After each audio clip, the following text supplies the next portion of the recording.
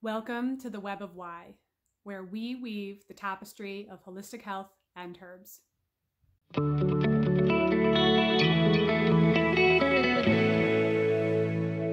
All right, looks like a few more people are joining us, which is wonderful. Welcome, welcome, everyone. And I'm just going to get started.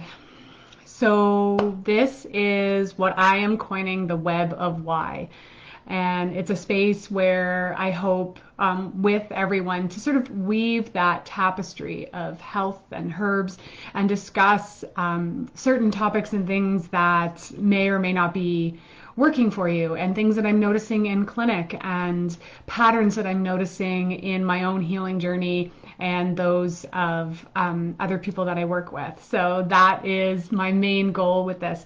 And today, what I wanted to talk about is why your herbs might not be working. And it's so interesting because you know, as a herbalist, to say that your herbs don't work, you kind of like a gasp. What do you mean? what do you mean they don't work?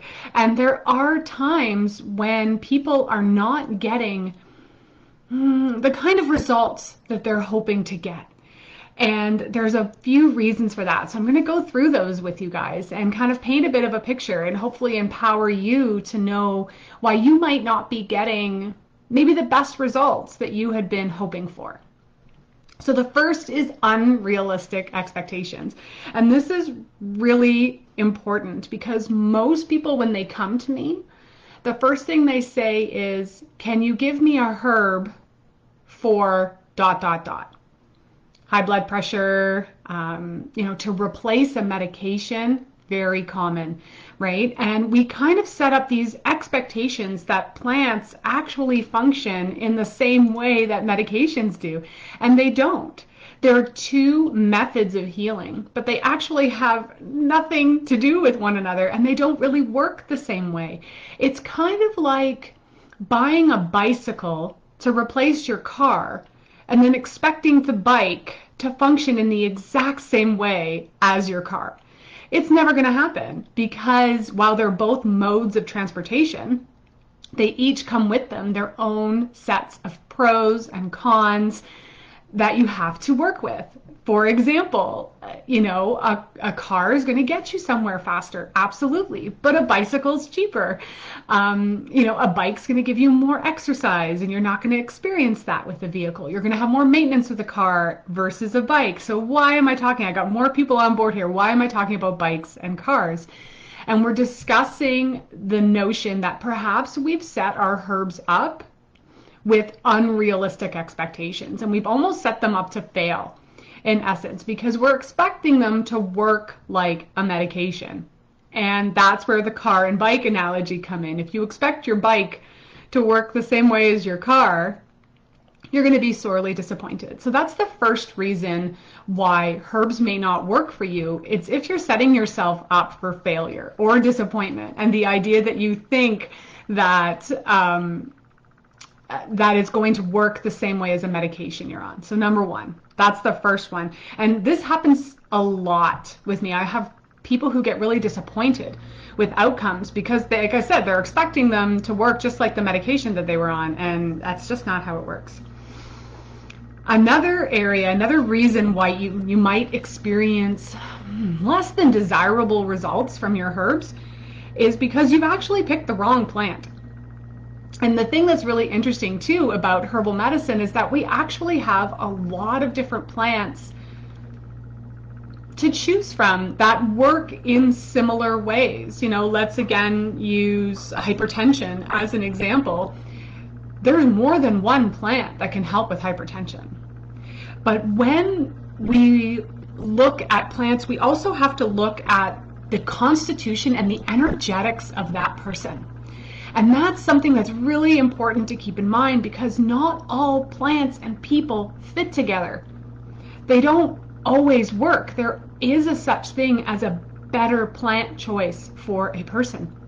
Some of this is going to come from experience and just learning what herbs work and which ones don't with particular constitutions. I'm, if I have someone with hypertension who is hot and sweaty and um, is easily flushed, I'm likely going to avoid herbs that have that same constitution, that kind of hot, wet sort of mechanism by which they work.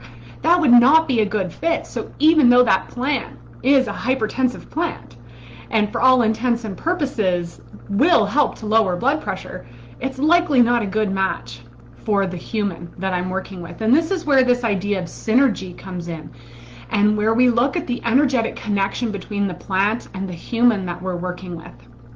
Now, I mean, sometimes we do see that with medications. I mean, how many of you folks have been on meds before and you've had to try more than one?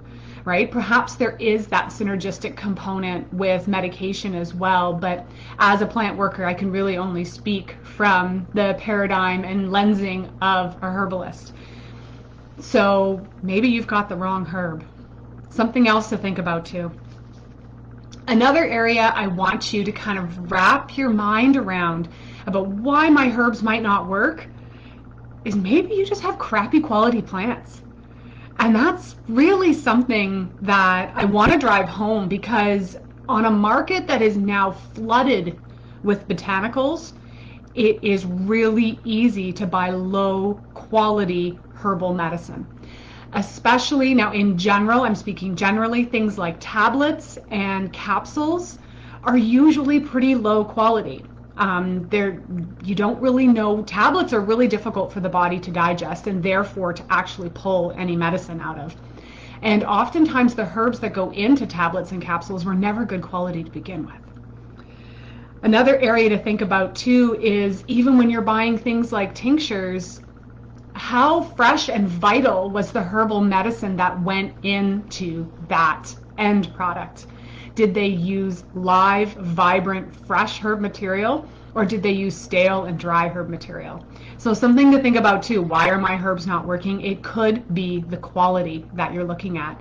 And I often caution people when they're buying herbs from maybe natural health food stores to really examine the color. They should be bright and vibrant.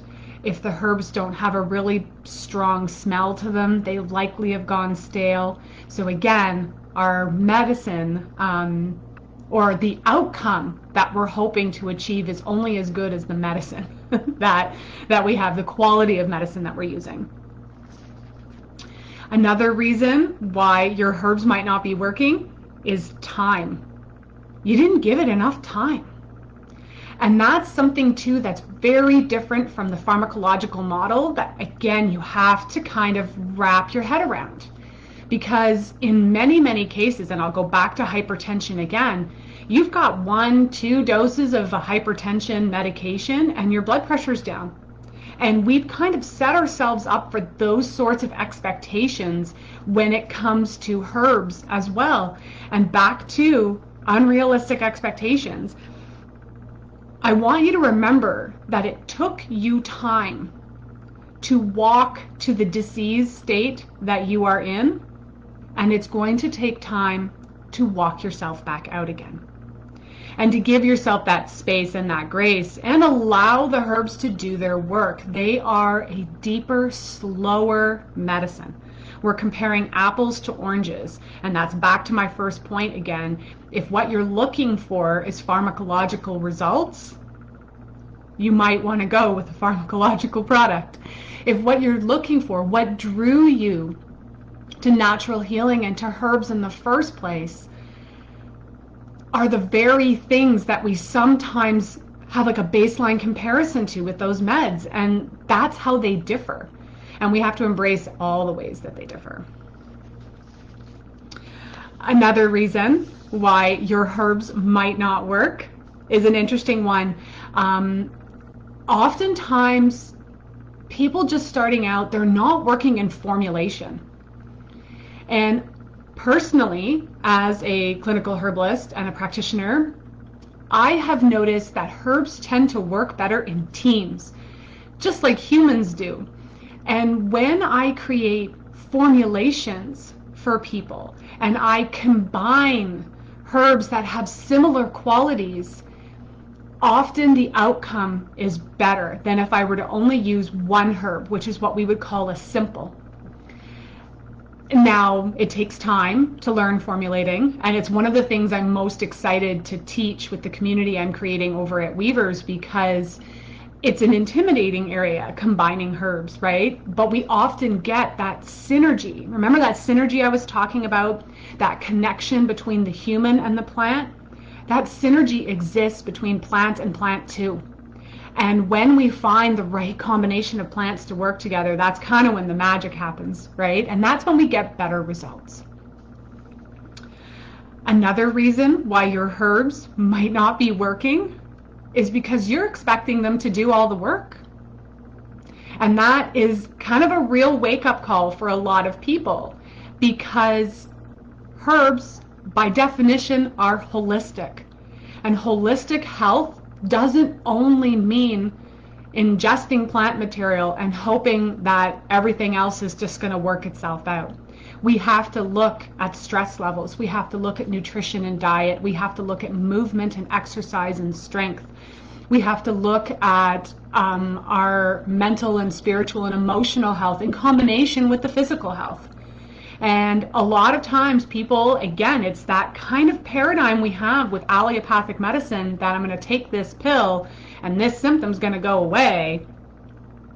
We're, we're back to you know setting ourselves up for unrealistic expectations and i'm going to go back to the car analogy one more time too because yes your gas is what makes your car go right but you still have to take it for oil changes you still got to get the tires rotated.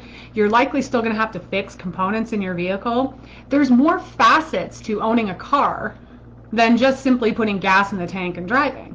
Just like there's more facets to healing than simply ingesting a herb, you know, muttering a few prayers and hoping that it's going to solve all your problems for you. So we don't want the herbs to do all the heavy lifting for you. And one last reason why your herbs might not be working the way that you want them to is because we're using them for symptom suppression as opposed to healing. And again, we're using them, for lack of a better term, incorrectly. Herbs work best to help gently support the body back to a place of homeostasis balance, and healing.